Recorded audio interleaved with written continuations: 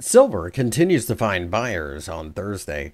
Before we start, a quick word from our sponsor, Exness. Exness is the world's largest retail brokerage firm offering ultra fast execution and no overnight fees. Look for a link in the description below. Silver has rallied quite nicely during the trading session on Thursday in the early hours, as it looks like we are going to do everything we can to rally at this point.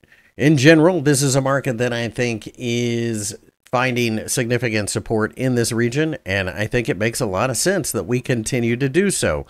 With that being the case, it is a market that I am more than willing to buy. I just recognize that you have to be somewhat cautious about getting overly big into the position due to the fact that the core PCE numbers are coming out on Friday. That, of course, has a major influence on what the Federal Reserve sees the economy as. And as a result, I think you have to think that there's probably some volatility coming.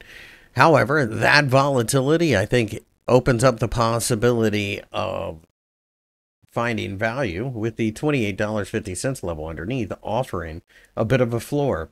If we can continue to go higher, then it's likely we go looking to the $30 level. The $30 level, of course, is a large round psychologically significant figure and it's an area that I think will attract a lot of attention. Breaking above that opens up the possibility of a move to the $32 level, an area that previously has been extreme resistance.